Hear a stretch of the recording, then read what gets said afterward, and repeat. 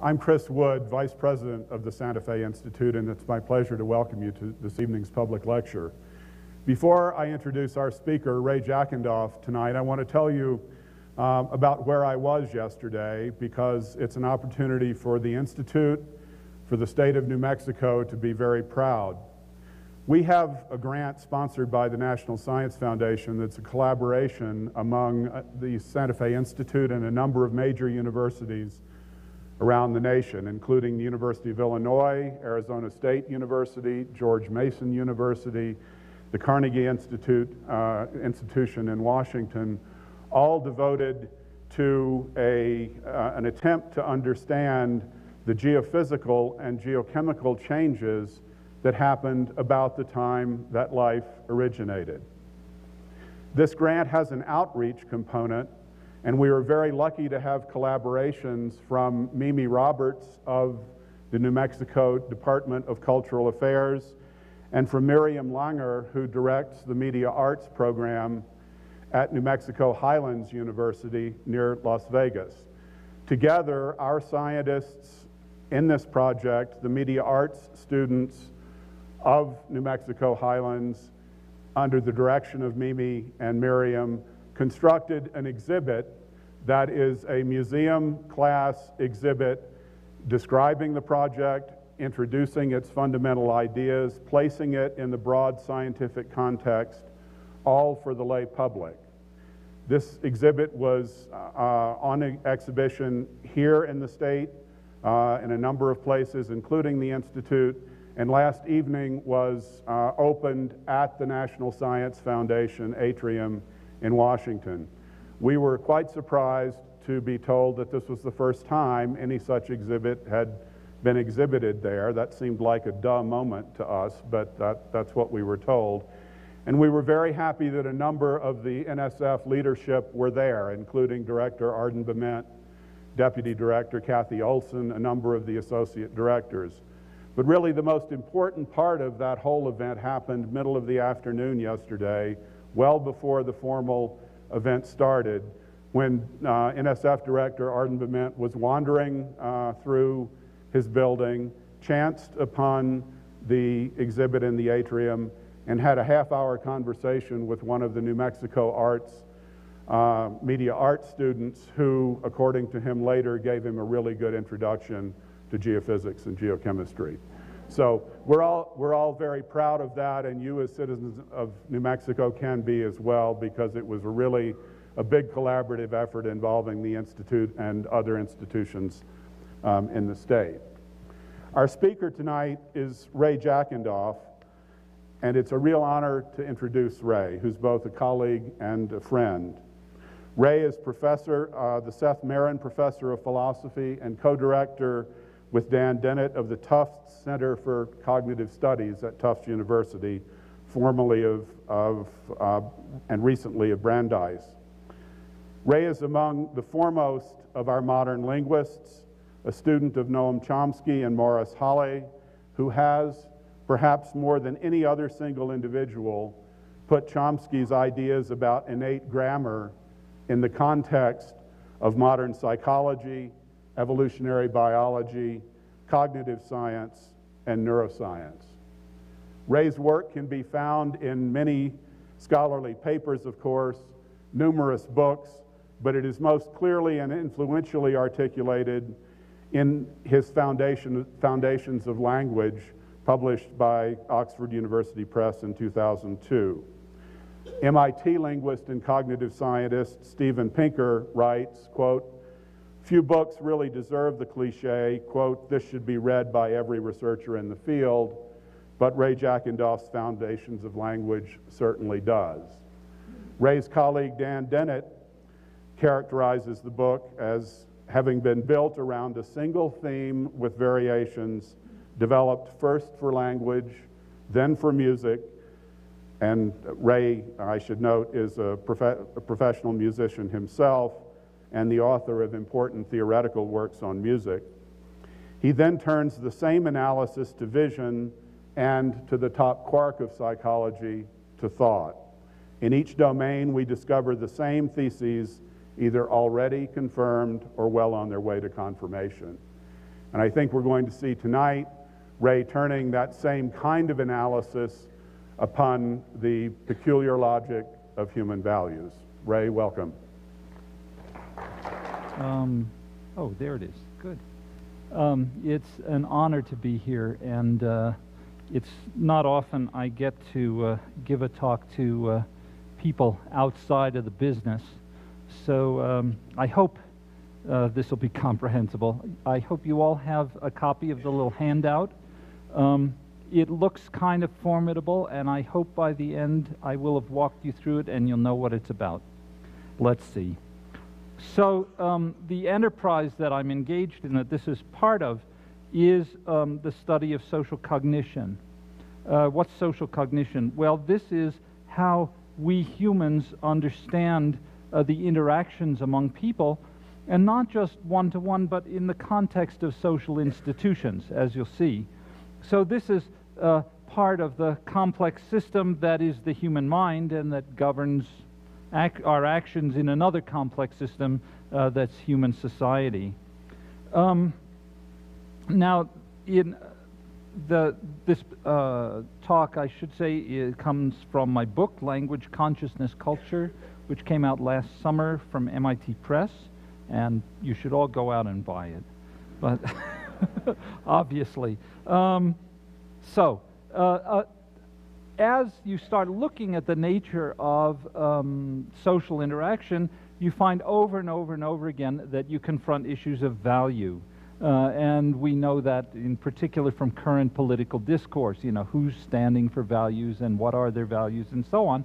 So I'm asking a rather basic and maybe weird question, namely, what is a system of values? What are we talking about when we're talking about values?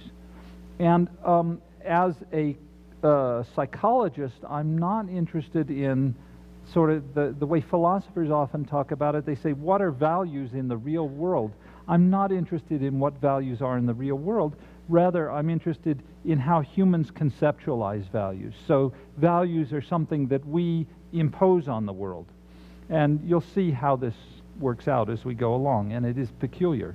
Um, part of my methodology, because I'm coming from linguistics, is to use linguistic expressions of value and our intuitions about the inferences we make from these sentences, and we're going to use these as clues for the organization of these concepts. So, the basic hypothesis is that a value is a conceptualized property, an abstract property that we attribute to uh, conceptualized objects, persons, and actions. And what I mean by abstract is that you can't see this property, you can't touch this property, you can't feel values, uh, but they're there. Uh, what does it mean for them to be there? Well, what it means is that the value of an object or a person or an action plays a role in the way you think about that entity, the way you interact with it. Now, what does it mean to have properties that you can't see, touch, and feel? Um, well, you have to ground it in concrete entities. So you have to connect these non perceptible entities to things you can perceive. So there are three parts to a system of values, I think. One is that says, here are values, you know, if there is something out there happening or some person who does something, here is the value you assign to them. You don't perceive it, but you assign it to them. Um, that doesn't do very much good, just having values lying around. Uh, you also need principles that tell you um, if such and such is the value, here's what I should do about it. So you need output rules that tell you how to how to uh, uh, uh, um, perform actions or how to choose actions on the basis of values of things. Now, even that isn't enough because that would just sort of say, well, you assign this value and then you do that but the system is more complicated. You need sort of systems of calculation inside the value system that tell you how to add values up or pit them against each other. And you'll see what I mean as we go along. Um, a good way to think about this for a first approximation is to think about points in a game. What's a point? Well, you can't touch a point, you can't hear a point, you can't feel a point. It's just something there in the game. So what's an input rule for points? Well, if you're playing football, you get points by getting the ball across the goal line or kicking the ball through the goalpost or whatever. That's, those are the input rules. The outcome, the output rules are the guy with the most points at the end wins, where winning is something that it goes outside of the system of values into probably into other values. Um, and inside the system, the internal rules are basically you add points. Um, in other games, you might subtract points. In other games, you might multiply points. It depends on the game. Um, but when you're adding points, it doesn't have anything to do with what's happening outside. It's just doing addition. So that's sort of the way I want to think about values. Um, values are more complicated than points, though, um, and I hope I can lead you through all this. So first of all, um, values have a valence. They can be positive, good, or negative, bad. Um, and they have a magnitude, so things can be better or worse. Um, so it's not just one point, two points, three points, it's negative points, positive points, and they're really along a, a scale of values. Um, a second dimension is that there are multiple types of value, and I'll walk you through a bunch of these um, affective value, resource value, utility, and so on and so on. Um, and a third dimension is whether we're talking about objective value, so something is of value, versus subjective value, namely something is of value to such and such a person. Again, this may be overwhelming if you just hit it at the beginning, but I have to sort of give you uh, coming attraction. So here we go. Um, so here are the eight kinds of value. Um, and I'll go through them one by one. Affective value, it's something that feels good. Utility is good for someone, a benefit or cost, and so on. We'll go through these. And what's important here to notice, and I think this is a real advance that, that has turned up in my work, is that if you go through the literature on values, you find that people don't clearly distinguish them. So people talk about values, and you don't know which of these they're talking about because they don't know that there's a difference. I've since I uh, published the book, to my embarrassment, I found somebody who has actually discovered a number of these, and I'm happy to see his name is uh, Georg Henrik von Wright, and he is a philosopher, and he wrote a book called Varieties of Goodness, published in 1963. And uh, I'm embarrassed not to have found him, but I'm also gratified that he breaks it out rather closely to the way I do, so maybe I'm on the right track. So let's go through them. Affective value is things that feel good. So affect, things have affective value if they have a positive or negative effect on someone, pleasure versus suffering. It feels good, it feels bad. So a tasty meal is going to be a positive affective value. Aesthetic experience will be it's nice to you know have a look at a, a, nice painting or something like that. Being hungry, being in pain, being in danger, those are all negative affective values. And these are very clearly connected to biological issues. It's pleasure and pain. And so psychologists and biologists, uh, when they talk about value, are usually talking about this kind. So let's look at some of the sentences that we use to express this. So we say things like, Fred enjoys eating figs. That's saying eating is of positive affective value to Fred. He likes it. Joe dislikes being beaten up. This is uh, negative subjective affective value. You got all those dimensions, folks? Um, objective, we might just say eating figs is enjoyable. So it's just saying that has a positive value. Being beaten up is unpleasant.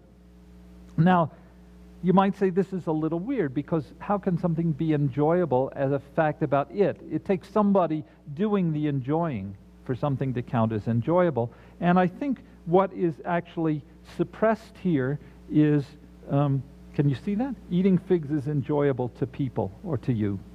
It's sort of the generic person. Anybody you choose, they will find it being enjoyable. Anybody you choose, being beaten up will be unpleasant. So there's this sort of uh, um, generic personal pronoun, you or people, um, that is hidden in these objective judgments of value. Now, to say eating figs is enjoyable and to call this objective, I want to stress that this is not saying eating figs is an objective value in the world, independent of people. It's still a judgment that, that somebody is making about the enjoyability of eating figs. Um, so, uh, what's the difference between objective and subjective value then? If objective value takes somebody making a judgment. Well, if somebody is making a subjective judgment, it's saying eating figs is enjoyable to you, and to you, and to you, and to you, individual people, and I have to sort of act as though I'm reading your mind. So it's a more complicated thing to say, for this particular person, this has a positive value, as opposed to generally everybody will make the same judgment. Um, okay, so let's go on to the next kind, utility, which is very similar but not quite. So uh, the idea is uh, an event or a situation yields a benefit or exacts a cost, then it will have utility value. And this is something that turns up in biology. Um, if birds are storing food to put away, do they have an understanding of the utility of storing food? Psychologists worry about it, economists worry about it. Um, and let's look at some of the examples. So, eating this broccoli will be good for Max. Okay? Now, this is utility. This is going to benefit him. He may not like it. That is, it may not be of affective value, but it's of utility. Being overweight is bad for Max. He may not mind affectively, but it's bad for him. There's a cost to it. The objective version is eating broccoli is good, or being overweight is bad, and it's concealing for you, or for people. Eating broccoli is good for people, this generic thing. Okay, just with these two notions of value, we're already in a position where we can state a couple of basic rules so you get a feel for the whole system. Um, so, an input rule is basically saying if there's an event that affects someone positively or negatively, then it's of positive or negative value to that person. And whether it's affective or utility depends on what the action is. Um, so, that's now assigning values to events and situations. Um, so an event, this event might be an experience, so eating a delicious meal, or the onset of a disease, which would be of negative value, or it might be somebody else doing something for you. It's good to be helped, um, or some, something bad to you. It's bad to be victimized. Um, now, suppose you have these values, so what? It has to affect your behavior to be of any use to you. So here's an output rule. It says basically given a choice between two things you can do, do the one with the highest value. Do what's better for you. And the way this uh, uh, uh, plays out, how you make these choices, there, there's huge bit, you know, uh, uh, whole disciplines of theory concerned with this. So rational choice theory, which economists worry about and psychologists worry about, and uh, various kinds of heuristic principles. I don't know if the names Kahneman and Tversky mean anything to you, fast and frugal strategies, how people decide on the values of things and how to decide among them. Uh, and I'm not going to talk about that. I will just take for granted that those are there. Um, this is the objective version. You do what's better for you. The subjective version is faced with a choice between two or more actions, so and so will do the one that they judge to be the best for them. So people will act in what they take to be their own best interests. Um, that's all pretty simple minded, but that's how you get out of the, uh, from the value system into action. Well, we'll have some more principles later, but now we have to do some more kinds of value. So let's look at resource value. This is things are of resource value if they're good to have uh, or it's valuable. Um, and this is the kind of value that economists talk about the most. Um, so, why might something be good to have? Well, it might give you the potential for an event with affective value. So, food is good to have because it's good to eat it.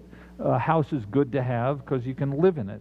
Um, another way is that, uh, that something may be of value is it may add to your esteem. So, owning a fancy painting or owning a fancy car adds to your esteem, and that makes the painting and the car valuable. Another possibility is that it has a potential for exchange for other things of resource value or for events of value. So that's what money is. Money is a, has a resource value because you exchange it for other things of value. Um, so the linguistics e expressions are, not surprisingly, this piece of land is very valuable or it's worth a lot. The subjective version is this piece of land is very valuable to Harry. Now, you might say, what's the difference? Well, there's a big difference. Um, my, my wife sells real estate, and um, it so happens, you know, the, the objective value is sort of what the market value is, what people will pay for this house. But people who are selling a house always think it's worth more. So their subjective value, you know, because of whatever sentimental value they have invested in it or whatever.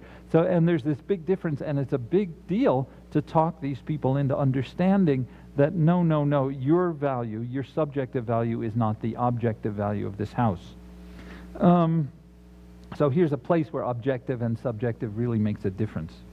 In addition, I think there's another kind of resource value that you might call transcendental value. And these are things that are good to have and which can't be exchanged.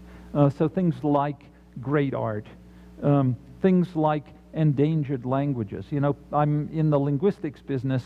People are worrying about endangered languages all the time. And some people say, well, what's the point of, you know, what difference would it make if, you know, one of the Pueblo languages, let's say, went out of existence? say, well, you know, it's just important to have it. And if you try to turn it into an economic argument, it never quite works. Um, and I think we, we fail in our society often enough to acknowledge this kind of value. Other things of sentimental value to us, um, friendships, human life, and these are the things that in the, the is it Verizon ads or something? They say priceless, you know. Um, so this is a kind of value um, that isn't on my list but belongs there, and it might be a special kind. But going back to the more uh, mundane sort, uh, I want to look at quality and prowess. So, quality is the quality relative to other objects or events of the same type. So, we might say, that's a good computer, that's a terrible computer applied to an object. That was an excellent backdive, that was a miserable backdive pertaining to an action. Um, prowess is similar applied to people, so the quality of their performance uh, at some particular kind of action. So we might say Harry is good at singing, or Harry is a good singer, or a bad singer, a terrible singer. Um, and um, again, that's a kind of value that we place on people with respect to certain kinds of actions. What that means is if he's good at singing, that means his singing is of high quality. So there's a relation between prowess and the quality of the actions they're performing.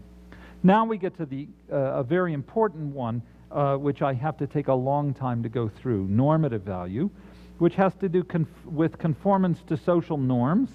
Um, and this is the one, if you ask a philosopher about values, uh, they'll be talking about normative value, but only a very small part, as you'll see. Uh, moral philosophers, anthropologists talk about this a lot too, uh, a wider range of values. So there are subdomains in normative value which are really quite different. So one is moral or ethical value, and that's the philosophical one. Religious values, legal codes, and those are studied by lawyers and legal philosophers. And then valuation according to standards of etiquette, things like manners, politeness, and customs, which philosophers never pay any attention to. Uh, lawyers never pay attention to. Anthropologists pay attention to them a lot. Um, now, in the literature on normative value and in common life, there's a lot of confusion of these different kinds of normative value with other kinds of value. So, if I can sort of twit one of the greats, uh, Plato in the Republic and various other places, he says, Well, what makes a good person? He says, Well, let's take, let's take an example. What makes a good doctor? Well, a good doctor is good at healing people. What makes a good harpist? uh, somebody who makes nice music, and so on and so on. Well, that's prowess. Then he says, What makes a good person? Where he's after virtue. He says, Well, it's a person who does what they're supposed to do in a good way. And, you know, then he gets totally lost and goes off into, you know, Socrates saying, Well, I don't know what the answer is, and neither do you know either, but I'm smarter because I know that I don't know, and you don't know that you don't, and so on, okay?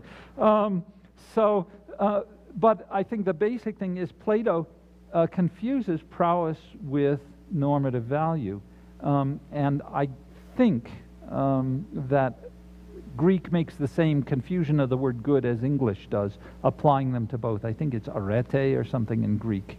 Um, so you're tempted into that by thinking, well, it's the same word, so it must mean the same thing.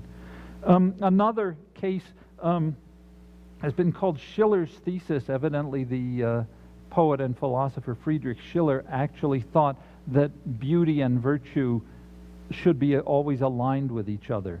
Um, so, in the, the stereotypical case, if you think about Cinderella, well, Cinderella is both beautiful and virtuous, and the stepsisters are both ugly and wicked.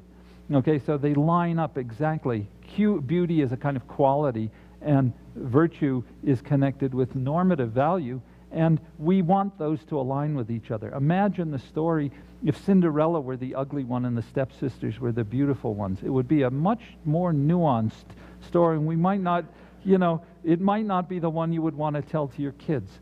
Um, so, so we have to um, keep the various kinds of values straight.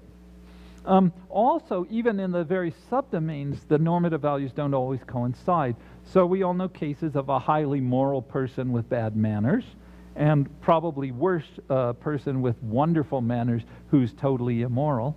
Uh, so those domains don't always line up. Um, looking at the moral code and religion, um, those can be independent. So my understanding of desert traditions of hospitality, you know, even your enemy, if they come to you in the middle of the desert, you have to feed them, uh, doesn't have too much to do with religion. Another case might be honor among thieves. Um, and uh, there are parts of religion that don't have much to do with morals. So, how you do this particular ritual, you know, you shake it this way, you shake it that way, you shake it that way, whatever it is. Um, doesn't have much to do with morality. It's just the way you're supposed to do something to carry out the rit- ritual correctly. Furthermore, and maybe more important, is that moral and legal codes may mismatch. Uh, so the classic case is the evil landlord in the old melodramas, right? He's foreclosing on the poor widow, and he's within his legal rights, but he's really an immoral person.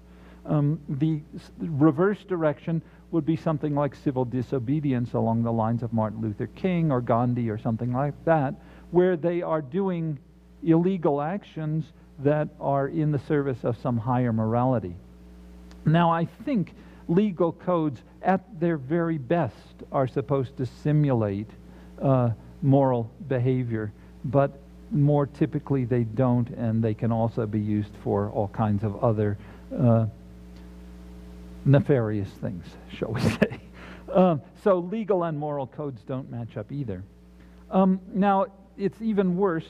Um, there's often a distinction made in the literature, in the philosophical literature and the anthropological literature, between morality and social convention, particularly philosophical literature.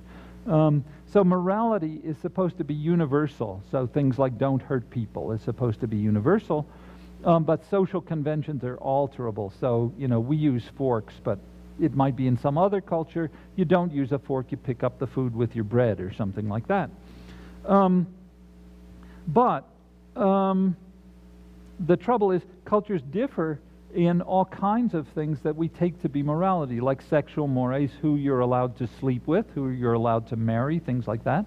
The status of slavery, um, which, so we uh, think slavery is really immoral, but, you know, 200 years ago, there were lots of people in this country who thought it was perfectly okay. That was just doing business. So cultures can differ in what they consider morality. Uh, so morality can't be universal. In addition, uh, moral and cultural values are really intertwined. So if you look at the Ten Commandments, the fourth commandment is keep the Sabbath. And you say, okay, that's social convention. The sixth commandment is don't murder people. Oh, that's morality. Well, if you keep reading on in the book of Exodus, a few chapters, you discover that they're both punishable. Violation of both of them is punishable by the same thing, namely being put to death. So, in the world of the of Exodus, uh, keeping the Sabbath and not murdering people have exactly the same status. Okay, so for them, they're both morality, religious value, whatever you might take it to be, whereas we would interpret them as quite different. Um, so let's look at some of the expressions of normative value. Um, so, getting back to the mundane, uh, it's good of Harry to wash the dishes without being asked. Now, no, notice it's of Harry. This time we had uh, Harry is good at, and Harry it's good for Harry, and it feels good to Harry, and things like that. This time it's of Harry. Taking cookies without asking is bad of Harry. So these are focused on the action, or we can turn the grammar around and say Harry is good to write. To, sorry, Harry is good to wash the dishes without being asked. Now we're focusing on the person. Now, notice we can ascribe these kinds of value only when there's responsibility. So we can say washing the dishes is good of Harry, but we cannot say being overweight is good of Harry, isn't good of Harry because he's not responsible for it. We might say being overweight isn't good for Harry, that's utility, but not normative value. Now, I know there are people who conflate these and think being overweight is a moral failing. Um, but um, I think for most of us, they're quite different. Now, we can also bleach out the character, Harry, um, and make this in terms of a generic actor and get a, a sense of objective normative value. So it's good to wash the dishes without being asked. It's bad to kill people. Okay, now, who is it good of? Well, anybody, people. It's bad of people to kill people. So the same thing happens here in bleaching it out to an objective form. Now we get to a point where we say, now we can start talking about interesting inference rules, and one that seems to be absolutely uh, clear. And people studying the psychology of morality or moral cognition these days focus on this rule uh, exclusively, I think. And uh, von Wright uh, also focuses on this rule exclusively um, as all there is to morality. And I think it's wrong but, uh, to say it's all that there is to morality, but it's very important. So it says, if one person acts in a way that is good for another person, then that action is normatively good of the first person. So basically, it's normatively good to be nice to people and normatively bad to be mean to people. So killing is just, you know, one example of that. Um, now, you might say, is that all there is to normative value? Well, von Wright says so, and the moral cognition people, some of them seem to think so um, but there are other possibilities. So doing an action that is normatively good or bad may feel good or bad to you. That then we call that having a conscience, uh, or in the case of a bad action, feeling guilt. So that's another way that normative value may uh, impact on affective value. Um, now, there are lots of other ways things can get normative value besides being good for someone else or bad for someone else. And cultures are full of these things. So it's normatively bad to dress such and such a way and good to dress some other way. It's normatively bad to eat such and such. Um, in many cultures, it's normatively bad to show attraction to people of the same sex. And that's taken to be moral um, in many subcultures of this very country. Um, so this is a case where morality differs from subculture to subculture as well. And these are things that you learn as part of your culture. Um, and um, there are other connections we ought to make, uh, notice that the, these connections between normative and affective value are not invariant. So there are religious rituals that can be normatively good. It's good of you to do them, but they're affectively neutral. I just do them, but it doesn't feel good. It's just I'm supposed to do it. Um, illicit sex is a nice example of something that feels good, but it's normatively bad. That's why we call it illicit. So there are all these strange combinations we can dream up. Um, and some of the difficulty we have in dealing with values is because there are all these mixtures lying around in our behavior. Um, the next kind, right, is personal normative value. So saying somebody is a good person. What does it mean to say someone is a good person? So this is sort of Plato's question. Um, and I think what it is is assigning a value to an actor, to a person, based on the normative value of this person's actions in general. So to say Harry is good or Harry is a good person means something like Harry does things of positive normative value. He does good things, do good works. Um, there's a subjective version of that that says Joe considers Harry a good guy, but I don't. Or to Joe, Harry's a good guy, but not to me. So I may be making a judgment about his personal value. Now the question is, how do you get personal normative value? We got to get that via another inference internal to the value system. So basically, if you do something good, that makes you a better person. If you do something bad, that makes you a worse person. Um, and so a different way to think about it is in terms of who's watching you. If you do something bad, people will lower your personal normative value and uh, sorry, if you do something bad, people will lower their judgment of your personal normative value. If you do something good, they will raise it. Um, so um, doing good things is raises your personal normative value in other people's eyes. That sounds fine, right? Uh, what's, here's the problem. Suppose you do a mixture of good and bad things. What happens? Well, you would say, just add up the values of those actions. Well, here's the problem. It's not mathematically additive. So here's the very same situation construed in two different ways. Even though what you did just did was horrible, I'm not going to hold it against you. I'm going to keep your personal normative value positive. That one horrible thing you just did has wiped out my whole good opinion of you. Now it's just, you know, so now you've gone to personal, negative personal normative value. How people decide which of those to choose, that's, you know, that's an issue of personality or I don't know what. Um, but both those are possible. Um, remember, this is again about personal normative value in the mind of a judger. Now we turn to the last one, which is esteem, your prestige or your respect or your good reputation. And I think, again, there's this additive thing going on. It's a composite of your personal normative value, how good a person you are, your prowess at various things that might be important, your status in the dominance hierarchy, how important a person you are in general as a leader or whatever, your wealth, your accumulation of resource value, your attractiveness, your Q value. And you can think of people who are held in high esteem for each of these different reasons, I'm sure. Um, so the expressions are pretty obvious. Harry is prestigious or well respected, has a good reputation. Or subjectively, Joe respects Harry, Joe holds Harry in esteem. Um, now, this has all kinds of interesting interactions. So, in particular, uh, an important one is your interaction with group membership. Now, group membership, I could go on a long digression here. Um, what counts as a group? Your ethnic group, your professional group, your clique in junior high school, your uh, religion, anything can count as group membership as long as you take pride in your group. It's something, the logic of groups uh, is if you're a member of my group, I'm going to treat you better than if you're not. I'm going to cooperate with you if you're one of us. If you're not one of us, the heck with you. And the, the variance among groups has to do basically with what, how bad the heck with you is. Okay? Um, it might be, it's all right for you to be around, or I'm going to kill you. Um, and that's about the, the dimensions of variance. So this uh, uh, interacts with esteem because members of, uh, exactly what I said, members of groups other than your own are by default accorded less respect. You, have less, you hold them in less esteem.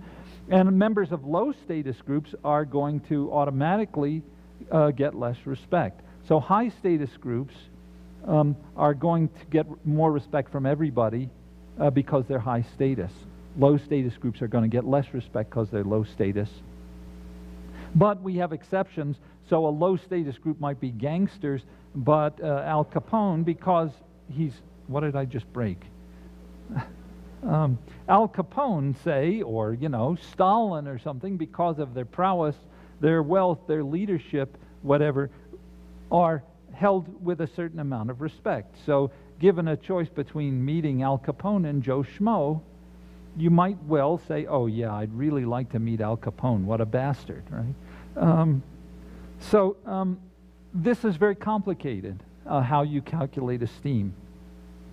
Okay, so that's the eight kinds of value. Now we get to the big problem for philosophy and also for evolutionary psychology, because evolutionary psychology is asking, why do we care about this stuff? Um, philosophy just says, why should we be good? What's the point? Okay? Um, well, here's one story, and I'll tell you a number of different stories for why to be good. Here's the one that makes the most sense for um, evolutionary psychologists. So let's look at esteem again. Your esteem is a function of your personal normative value, how good a person you are, your prowess, your wealth, your dominance, your attractiveness, blah, blah, blah. Which of these can you affect? Well, one of them you can affect is how good a person you are seen to be, your personal normative value in the eyes of others. So, um, if you, and that'll give you high esteem. Um, and if you, have, if you are esteemed, then you're sought out by other people for cooperative interactions of mutual benefit. That means if you're held in high esteem, goodies will come to you that won't come to other people. Okay? You get to give talks at Santa Fe Institute and things like that. Um, well, that's kind of nice. If you have high esteem, you do better. So it's a, esteem is sort of a resource value. Respect is good to have. So being esteemed is a reason to be good. Um, now, that, to turn that into an inference rule, it says if somebody is of high esteem to somebody else, then it's good for people to associate with that person. And so it's a benefit to the person who's held in esteem. Now, you might say this is kind of cynical, right? The only reason you want to be a good person, and especially a good person, seen as a good person, is um, so that other people will want to do stuff with you that will help you. Um, that's as far as the evolutionary psychologists have gotten, and they have pretty good arguments for that. Um, there are other there, we can think of some other reasons to be good. I mentioned one before. It may feel good to do good, and it may feel bad to do evil. Um, we might be able to elaborate that a little. If you do good things, it raises your own estimation of yourself, your own person, subjective personal normative value, and therefore your self esteem. So you judge yourself a better person for having done good. Maybe. Um, um, we could make it another, and people say, well, that's still pretty cynical. It feels good to do good, that's why you do it. Isn't there any true altruism? Well, here's what it would look like if there is true altruism. I don't know if there is any. We could say, well, normative value also goes into, remember our original output rule that says choose the thing with the highest affective or utility value.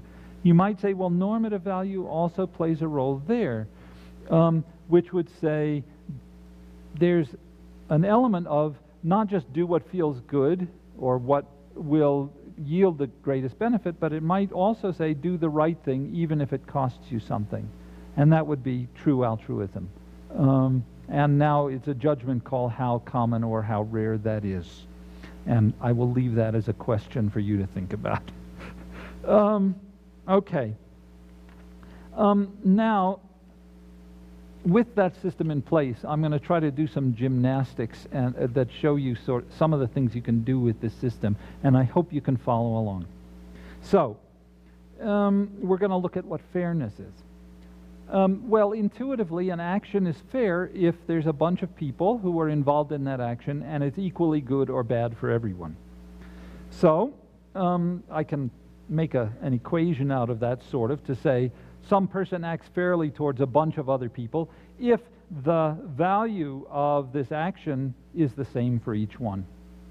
Now, that could be either beneficial, um, that could be beneficial to each one, so give you each the same amount of money or the same number of pieces of candy, or it could be a cost. I could make you all do the same chores, okay, of equal value. Um, now, there, and there are various ways to play this out. This action might impinge on everybody at once. I might give out $500 to every taxpayer or something like that. Or it might uh, be a successive thing. It might involve taking turns. Everybody gets the same kind of birthday present or something like that as the year as we go through the year. And it might even be that the actor is actually the collective of all the X's, so they're doing something together and they all get the same benefit and the same cost. So that's another way to play it out. Um, so I've already said it could be a gift or a burden. Um, now, there's a, a, little twist in it. This, are you calculating this value objectively so everybody gets exactly the same thing, or are you calculating it subjectively so it means the same amount to each person? And that plays out in the difference between a flat tax, where everybody pays the same, and a progressive tax, which is supposed to hurt people the same, right? Um, so if you're richer, you pay more tax, so it hurts the same. So that's the idea behind a progressive tax. It's deciding whether you're calculating this, it's deciding to calculate this subjectively. Um, there's an alternative to fairness, uh, which is also common in all human societies, which is distribution by rank. So what's rank? Well, it's inequality in personal normative value or in prowess or in esteem or in dominance. It depends what, rank, what we count as ranking. But whatever we count as ranking, um, then the highest ranked person gets more and the lower ranked people get successively less. So you get a certain amount according to your rank. Um, so, you know, uh, uh, uh, um, the high rank gets a, a, better house, gets better pay, gets a better mate, gets less uh, uh, onerous work, less stringent punishment. Um, and, you know, a, a, funny case of this, of course, is uh, I don't know whether it's W.C. Fields or Groucho Marx had a contest that the first prize was one week in Philadelphia and the second prize was two weeks in Philadelphia. Um, well, the reason that's funny is because you're realizing that two weeks in Philadelphia is supposed to be worse. Okay? Um, so that's the ranking. So this is, uh, we use this for prizes, we use this for pay, for whatever. You recognize it. So the question is, how do you decide what's the right choice? Should you be fair or should you use rank-based distribution? Well, this is now uh, um, something you have to learn in your culture. And there's an anthropologist named Alan Fiske who's written a book called Structures of Social Life, where he says there are actually four kinds of distribution. These are two of them, but you'll get the idea. The idea is that in each culture you learn which circumstances you're supposed to treat fairly and which ones are rank-based. Um, and that's, it's very complicated to learn for each kind of action which way is appropriate, but you learn it. So learning a culture is partly this as well. Okay, now I want to go to something even, well, fairness plays a role in this. So we have these sentences in English, and I assume in other languages as well, which I was puzzled about for years and years and years as a linguist. Um, so something like Fred cooked Lois dinner for fixing his computer. And what this is telling us is the cooking of dinner is in return for her having fixed his computer. And there's a negative version, Fred slashed Lois's tires for insulting his sister. Now, what we notice about this is that it turns out to involve affective or utility value, as we can see from these sentences. So the values have to match in valence. There's something funny about Fred cooked Lois dinner for insulting his sister, right? Uh, unless he really thought it was a good thing to insult his sister. Or Fred, Fred slashed Lois's tires for fixing his computer he really didn't want that fixed, right? So it's like the two weeks in Philadelphia. It's reversing the value of this thing. Um, and they have to match in magnitude. So if Fred cooked Lois dinner for saying hello to him, he's kind of overreacting. If he cooked her dinner for rescuing all his relatives from certain death, it's sort of not enough. Uh, if he slashed her tires for eating too little at dinner, what kind of punishment is this? The guy is a madman if he slashed her tires for murdering his family, it's, he's sort of, you know, he's cuckoo in some way. He really doesn't understand what it's about. So we understand that the values of these actions done reciprocally have to match in magnitude and valence approximately. So the overall principle is if Y, uh, in this case, uh, uh Fred acts in return for Lois's doing something, uh, Fred's act is probably about as good for uh, uh, Lois as Lois's act was for Fred. Uh, so the positive version of this is reciprocal altruism. Uh, I'll scratch your back because you scratched mine, or one good turn deserves another. Um, the negative version is reciprocal retribution. The punishment fits the crime, or an eye for an eye. Okay, so these phrases, uh, well known phrases, right, uh, are sort of common sense expressions of this uh, inference rule. Now, there's a third form besides reciprocity and retaliation, which is restitution. So Fred cooked Lois dinner to make up for having embarrassed her in public, or Fred brought Lois flowers for forgetting her birthday. So here, Fred is doing something good in to make up for having done something bad. And here again, the amounts have to match. So Fred gave, gave, Lois his vast fortune to make up for forgetting her birthday. He's kind of overreacting. If he brought Lois flowers to make up for killing his whole, her whole family, he's kind of underreacting. Um, so the overall principle is that restitution is the person who did something bad does something good of about the same value. That is equal magnitude about off, uh, and opposite valence. Now notice this one, unlike reciprocity, uh, reciprocity retaliation, is not neutral for, for valence. There's not a, a mirror image of this one. F Fred slashed Lois's tires to make up for having cooked her dinner. It's totally weird, right? Uh, you don't do something bad to make up for do, having done something good. That's incomprehensible. Um, so, that's uh, so now we can state a normative principle about these things. Namely, if you do something good for, if somebody does something good for you, then it's normatively good, it's morally good for you to reciprocate. And if somebody does something bad to you, eh, sorry, if you do something bad to somebody, let me take out the X's and Y's. If you do something bad to someone, then it's morally good, normatively good of you to perform restitution. Now, I left out the third case, right? Namely, retaliation. Well, if somebody does something bad to you, what do you do? Well, there are three possibilities, and they're culturally determined again. So if somebody, somebody does something bad to you, it might be that it's morally good for you to retaliate, right? That would be an honor and revenge culture. Or it's neutral. It's okay for you to retaliate. Everybody's going to understand if you retaliate. They're not going to say it's bad. They're not going to say it's good. They'll sort of look the other way. Or the, the third one is it's actually bad for you to retaliate, and that's turn the other cheek. Okay? If somebody does ba- uh, something bad to you, it's bad for you to retaliate. Okay? So again, cultures will decide which of these they choose or under which circumstances they choose which ones. Um, now, there's a yet another case I want to bring up uh, where this four of reciprocity shows up. So something like Joe praised Sue for saving the drowning child. Now, Sue hasn't done anything for Joe this time. Um, or the fans cheered Sue for hitting a grand slam.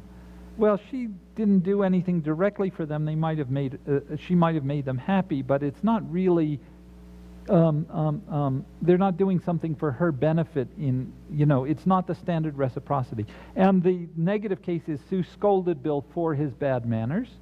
Um, and the fans booed Foulke, that's a pitcher for the Red Sox, for giving up a grand slam. Um, again, it's not standard reciprocity. So what's it about? Well, it's something like honoring or, and shaming. So these are expressions of esteem or disesteem. So Joe praised Sue as Joe is saying uh, to, you know, to Sue, I esteem you on, ba- you know, because of what you've done. And the fans are saying to Sue, I esteem you for hitting a grand slam. Or Sue is saying to Bill, I disesteem you. Your esteem has gone down in my eyes because of your bad manners. Um, now, so this is sort of like reciprocation and retaliation, but it's only in terms of expressions of esteem. I might say, is there something like restitution? And boy, was I surprised when this popped out. Of course, that's what an apology is. So you do something bad to somebody, and you say to them, my self-esteem has gone down. So you lower your own esteem. So it's exactly parallel to restitution. You're doing something bad to yourself for having done something bad to them and letting them know it. Um, so we have these general normative principles that say um, if you do something that increases your personal normative value or your prowess, it's morally good or normatively good for me to express my respect for that. And if you do something negative, sorry, if I do something negative to you, it's normatively good for me to express negative self esteem to you. That is to apologize in restitution.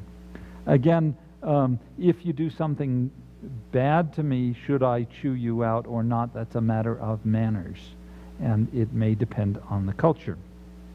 Um, so, let me sum up. If you've followed me at all through any of this, you'll see that a value system is a multidimensional, abstract calculating system that helps us govern action.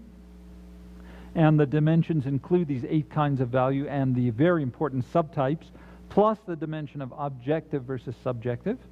And the values that you assign to individuals, their prowess, their personal normative value, their esteem, are crucial in how we interact with them. And learning a culture, in part, is acquiring all these special rules that we've seen all along for assigning values to people and their actions and to particular objects and so forth. And what this shows, this exercise that we've gone through, is how complex value judgments and reasoning about values is. We shouldn't expect it to be like, you know, predicate logic or something like that. Um, and we see the connection between value, the value system and linguistic expression. The linguistic expression is very full of ambiguity. This word good appears in system after system. If we're careful about the language and look at good for versus good at versus good of versus feels good, um, we can begin to use the language to pick some of this apart. And this is parallel to what's gone on, mm, the I don't know, starting about 20 years ago, linguists have been looking at spatial language, how things are on or in or under or above or below and so forth. Very complicated system that varies from language to language in exploring the way concepts of space uh, uh, are articulated in human cognition. I think this is the beginning of being able to do the same thing with a value system. It allows us to ask, I think, in a more interesting way, questions about how children acquire value systems, uh, maybe how uh, adults change their value systems over time, what's exactly happening, what's changing in the rules. Um, we can ask, interesting, I, it's kind of an interesting question to ask. Now, so far I've said, you know, value systems, well, different cultures have different ones. I'm not saying one is good and one is bad. That's sort of outside the value system, right? Um, but the questions about if, you if a culture chooses a certain value system, will it work? Will it lead the culture to thrive?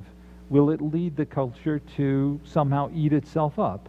Um, and, you know, we, I think some of us are asking those questions in, you know, in, in, in the context of current events. And, we, you know, we can now begin to see how that would play out in terms of um, looking at the conceptual system and how that makes the culture work. I'm not ready to do that yet, but um, I think it's something that can be asked. Finally, we can ask the evolution question. Um, how much of the value system, this whole panoply of different kinds of value and um, the possibilities for learning them, how much of that is given as part of the human species, how much is learned, and how much of this is unique to humans and how much might be found in other primates. So I actually got interested in this uh, topic about 20 years ago because I was hanging out with a bunch of primatologists who were talking about social organization in chimpanzees and vervet monkeys and things like that. And I said, ooh, this really looks kind of familiar. Um, like all the things in human society I don't like, you know. And so you start to ask, how much of that, how much of the stuff in us is unique to humans, had to evolve between uh, six million years ago when we diverged from the chimps and when known human societies uh, came into existence that we have records of, let's say 5,000 or 6,000 years ago, um, and how much is part of our primate heritage. So that's the point where I'm stopping with a lot of questions, uh, and I hope this can help sharp the, the stuff I've talked about tonight. It can help sharpen these lines of questions. Thank you. Logic is supposed to be really cut and dried everything works very more than mathematically because logic is the foundations of mathematics. This stuff is all loosey-goosey.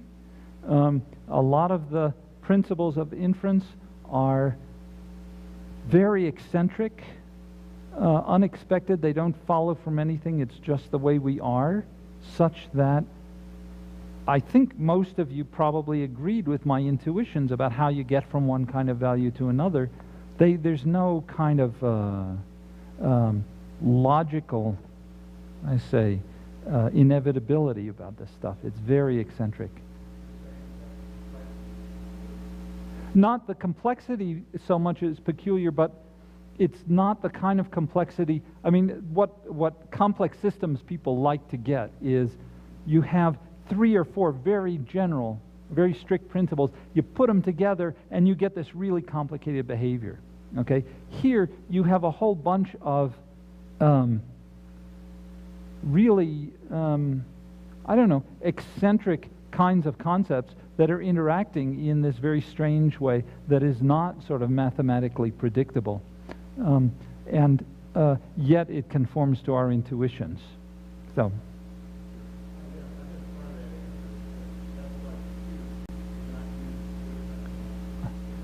Well, um, if yeah, so the uh, uh, the suggestion was that's why computers don't use this kind of logic. I think if we could get computers to do this kind of logic, it might solve the problems of why you know why can't computers understand language? Why can't computers have common sense? Blah blah blah.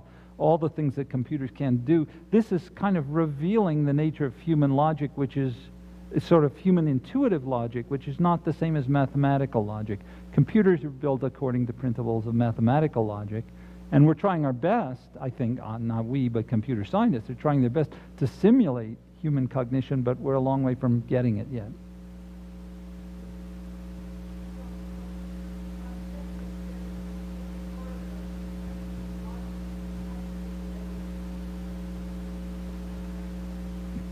Um, so the question is, is could the, let me see if I get this right, could the value system that we have have something to do with the evolution of the species? Something like that? Um, this is the question evolutionary psychologists are asking. They're saying, how is it that um, if we have these moral systems, they're mostly concerned with moral systems, not with etiquette and custom and you know trivial things like that, which I think are really important actually. Um, but they're saying if we have these moral systems, what good did they do us? And even Darwin was worried about this because he said, how can there be altruism if um, what is really important is uh, what makes particular genetic lines survive is they have more babies. How are you going to have more babies? By being as selfish as you can. So how come there's altruism? Well, the first thing that was discovered was kin altruism, which makes sense genetically. So you're good to your children. Because what's important is the, the genetic line gets carried on. This stuff is in the Richard Dawkins' famous book, The Selfish Gene. Then, uh, uh, um, I'm trying to remember who was. Is it Hamilton? Who does anybody know? Uh, who started talking about reciprocal altruism. So it might be that if I do something good for you, you will survive to do something good for me later on. And there's now still a lot of dispute whether any of that actually takes place in the animal kingdom, whether any animals actually do that. Um, more recently, there, uh, Boyd and Richerson have worried about this, and a guy named Richard Alexander, who both are taking the position that, well, suppose you're trying to get a large group of people to collaborate. Um, the way you have to do this, and they model this mathematically uh, uh, with computer modeling and so forth. Uh, the only way you can do that is if, when somebody acts selfishly and not for the benefit of the group, the others are willing to punish that person, even if even at a cost to themselves. And they're sort of taking the view that morality is that kind of system. So that's the selfish version that I talked about that was kind of cynical, right? It said, well, the reason you want to do good things is so that people don't disapprove of you, so that people do approve of you, so they'll cooperate with you.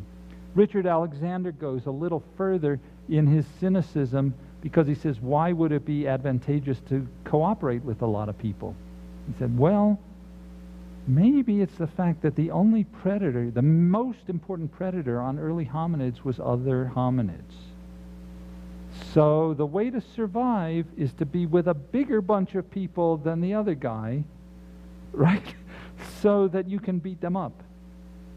Um, and therefore, it's to your advantage to be able to be in a big group that functions. And that's why you need to have morality. So that within the group, you'll hold together and you can beat up on the other guys. Now, this does have some nice resonances, unfortunately, with uh, uh, um, um, the stuff I said about groups, right? What's the, the logic of groups is you treat your own better than you treat the other guys. And we all recognize that.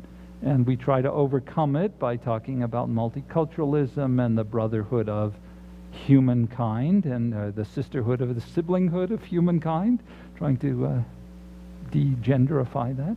And um, um, then, uh, but you know, I, I sometimes despair that that's ever going to work unless we're attacked by Martians, and then there's an outgroup that we can unify against. Um, so that's a very long version of your answer. In terms of true altruism, which everybody wants to say, oh, there must be true altruism, I don't have an answer. Whether there, whether there is any, we all believe in our heart of hearts that there is some, and maybe some of us even practice some of it. Um, uh, that's an open question. Oh, good. This looks a lot like some forms of linguistics back in the late 50s, early 60s, early 70s, in which particular examples, a sentence or two, or even a half a dozen, were used to generalize, to make um, fairly large points about the structure and organization of language. What's happened since then, and you yourself and your colleagues are responsible for a lot of this, is to take that and to put it into a much more extensive, data-focused, data-driven analytic approach.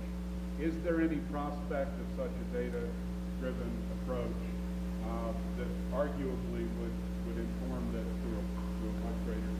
Oh, yeah, that's anthropology, for one thing, um, and primatology.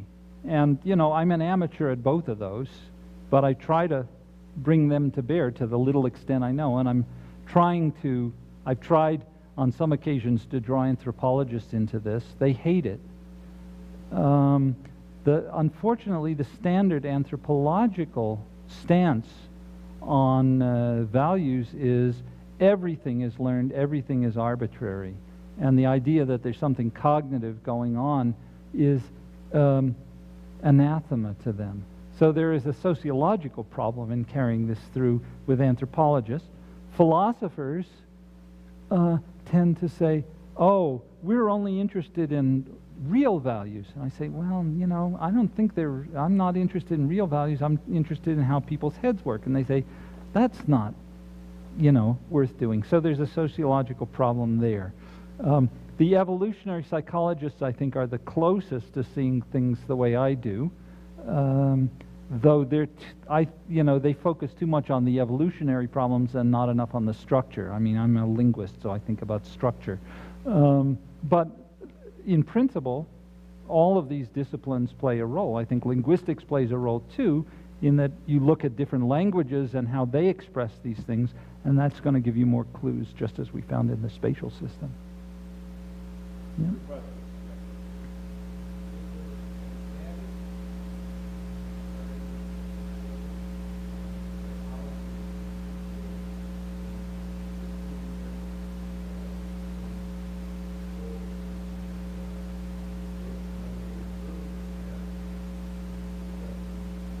Uh-huh. It's a good question. Um,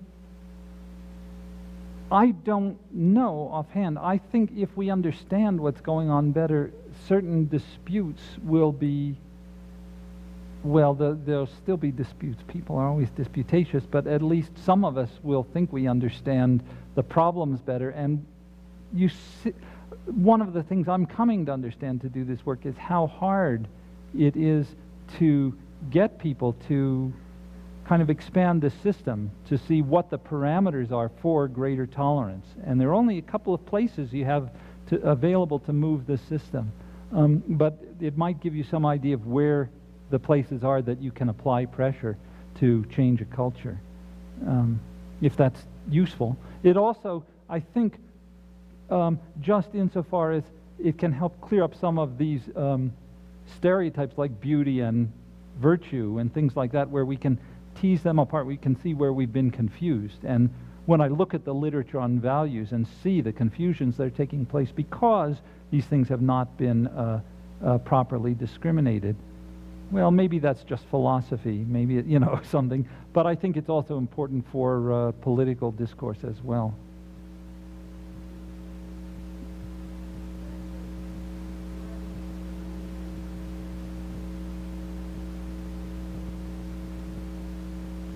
Um. How much of our value system do we acquire as children? I think that's an empirical question, and I, I honestly don't know. Um, I think now, with a, if this is a better articulation of what value systems are, it can inform uh, developmental research. I'm sure there are people who change their values over the lifespan as well, right? I mean, everybody knows, you know, old folks get more conservative and.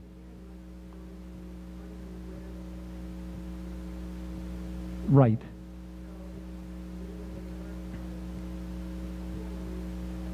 Yeah. Mm-hmm.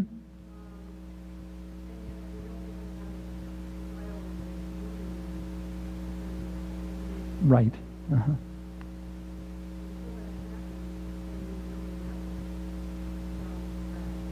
Uh-huh. Okay, so the question is, if we don't understand... Yeah.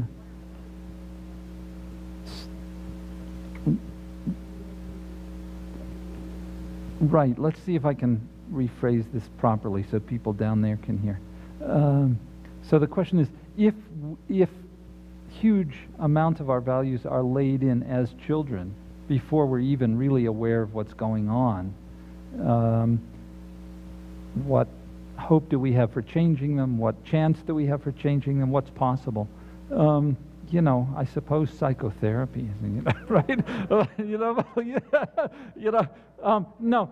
Well, no, no. I mean, I, I think um, uh, uh, um, this is an issue for developmental psychology and anthropology. How do children get their values from watching adults? Because some of them are conveyed explicitly, some of them are not. I mean, you know, coming from linguistics, where you say most of language is laid in completely unconsciously.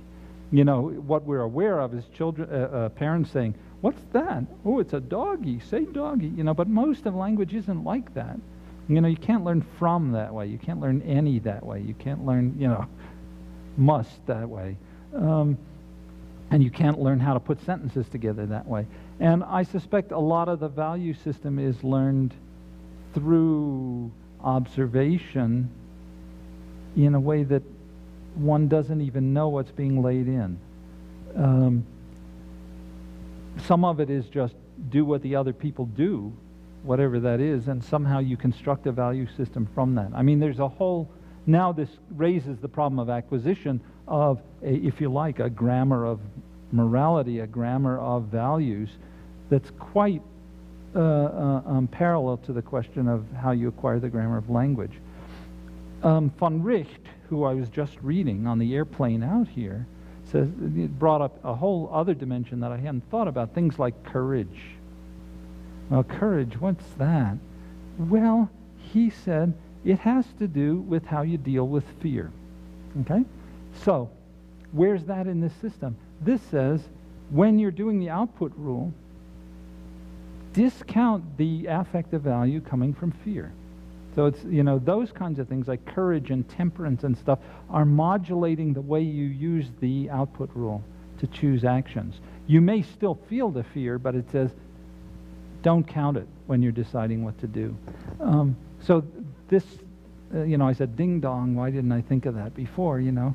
Um, this is how we can start adding some other things to this logic. Um, again, developmental questions. I think you know, a lot of these things are things you learn, learn, start to acquire, change, maybe throughout life, but certainly by the time you're, you know, a lot of it's going on when you're a teenager, early 20s, you know, whatever. Yeah.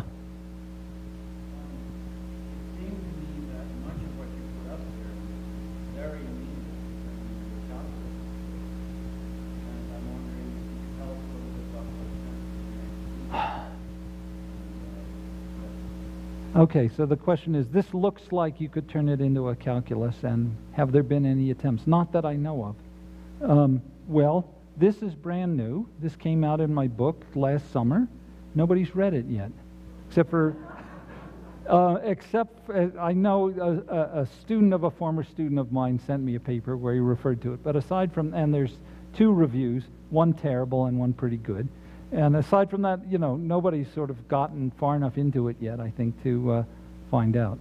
Um, the difficulty is, as I mentioned, as long as you're on the same side of valence, things work pretty good. But when you're crossing from positive to negative valence and trying to add them up, then you get into trouble.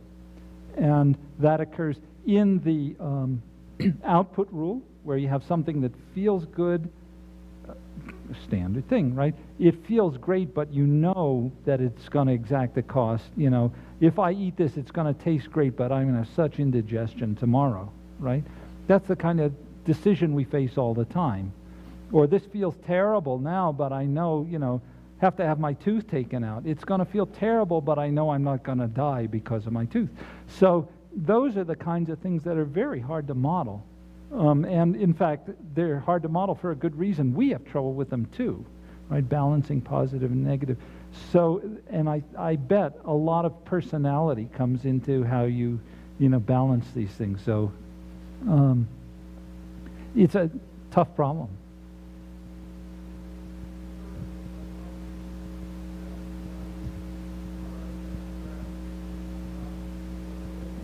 Mm-hmm.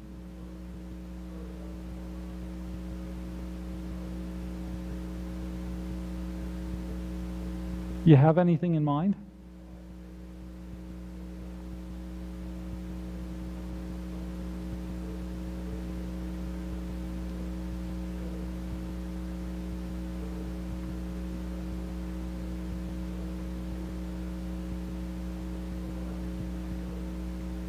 Okay, so okay, so that's they have this value.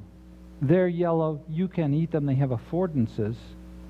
But the value, if it's, let's say if it's a choice between the bananas and the chocolate sauce or the bananas and going to the movies or something, now the values are on a scale that doesn't have to do with taste anymore. Okay? And that, that's, that's, I think that's the important thing that makes them abstract, that you're taking all kinds of things that are incommensurate, incommensurate in terms of their perceptual uh, characteristics and measuring them against each other. Um, so it has to be on some sort of a, a magnitude scale that reduces bananas and the movies to the same dimension, if you know what I mean. Um, so if it's between, you know, bananas and chocolate sauce, you might say, well, it's along taste and, you know, I know what tastes better. So that's a very narrow dimension of value, but it's still saying bananas and chocolate sauce, they don't taste the same. What makes one better? Okay, and it's the better part rather than the difference between them. That's the value. I don't know if that. Um, I think affordances are something else because uh, they're not exactly perceptible either. Um, that. Uh, mm-hmm. yeah. Okay. Yeah.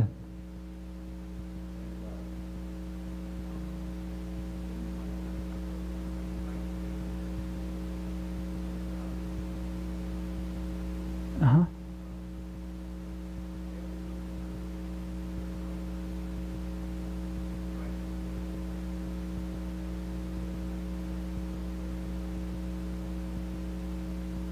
Um, I'm not sure this is right. I'm not sure what you have in mind by left brain and right brain.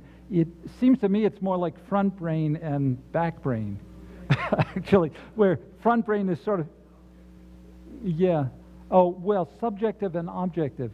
Um, those are, um, subjective is not just I like it better and you might not. It's also you like it better and she doesn't. Um, so it's comparing people's the value of something to different people, which is actually even more cognitive than just saying that's great stuff, which is assigning it a value objectively.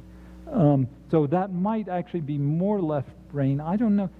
Uh, anybody know where there there is a faculty called theory of mind that people argue about a lot. Uh, um, mm-hmm. So those might be, yep, yep, those might be cultural differences in values, and whether those involve different parts of the brain, I don't know. Um, I was more thinking in terms of um, uh, frontal lobe, which is supposed to be executive control, making decisions, da da da, versus you know limbic system, which is oh that feels great, you know. Um, so, so those are in conflict. Um, you know, the most advanced part of the brain and the most primitive parts of the brain are in conflict in the value system.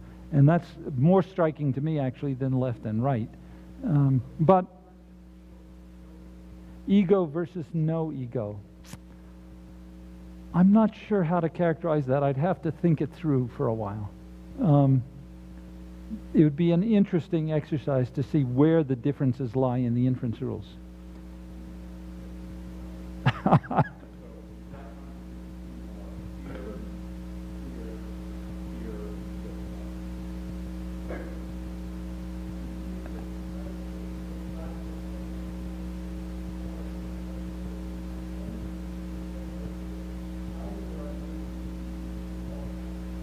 Mm-hmm.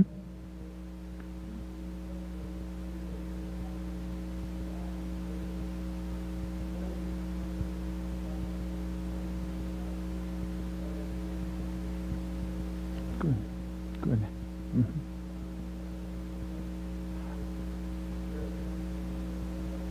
Good, good. So the distinction between unconscious values and conscious values.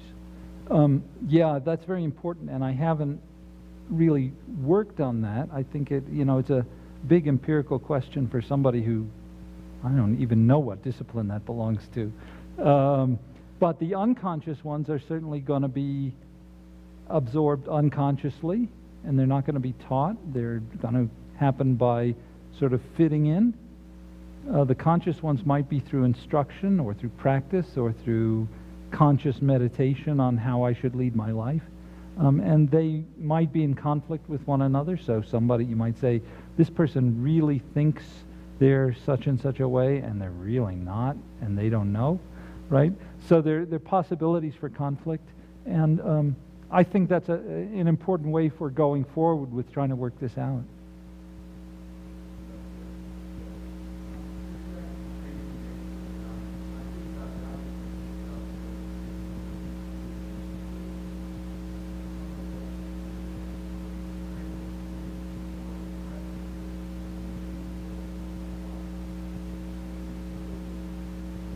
Um, I think this is like the uh, issue that I brought up about morality versus custom, that there's sort of a continuum between the things that are really important and core things and the things that are just sort of, this is how I feel at the moment. And they're all interacting with each other constantly. Um, there might be a dimension, also for conscious for unconscious, um, besides that this, these might fall along a dimension um, that's orthogonal to the dimensions I talked about. Uh, that's sort of making the most sense to me at the moment, but it's something one would have to explore.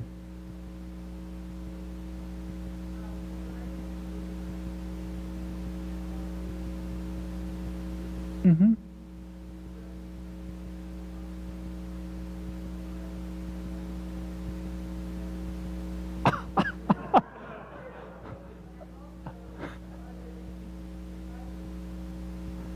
Oh, God.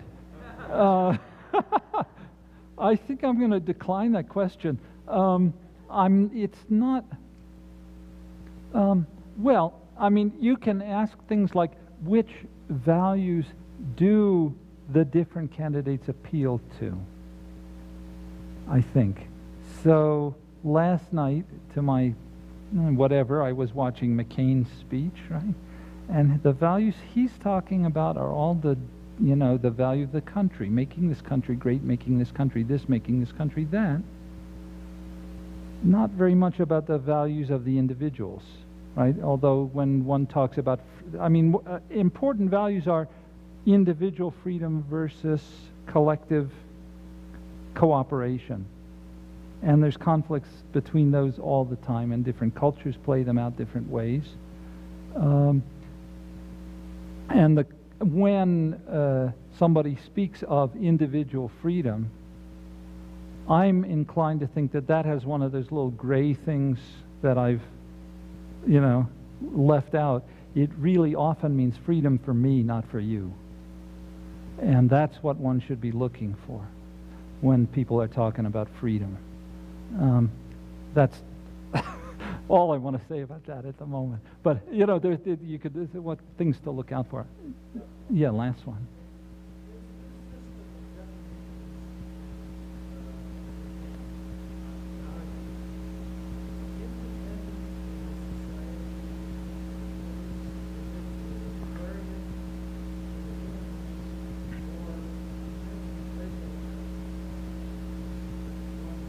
Mm-hmm.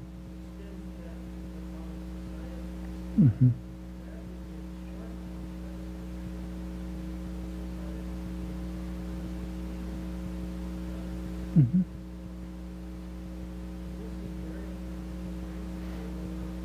Okay, so the question is, is this system invariant? And I think the framework of the system is invariant. So all these kinds of values, at least in all the anthropology I've ever read, you find all these things, all these different things going on. People are worried about feeling good. They're worried about resources. They're worried about esteem. Boy, most, you know, esteem is really important. Um, and how you're supposed to behave in order to express esteem and, you know, all these things. Um, what differs is the settings of the different values. So when you're faced with a choice between two things, which one do you choose? Do you choose to retaliate? Do you choose to turn the other cheek? Do you choose to be fair or do you choose to be rank based? Do you, uh, which kinds of little gizmos do you add on about dress, sexual behavior, um, and so on, um, which, along which societies differ in vast, uh, you know, in, in vast ways. Um, so the idea is, I think, I'd like to be able to say, this basic system is a human universal how it plays out in different cultures depends on how the balances among different rules are set and how the culture specific rules are laid in. So that's a good way to stop. Thank you.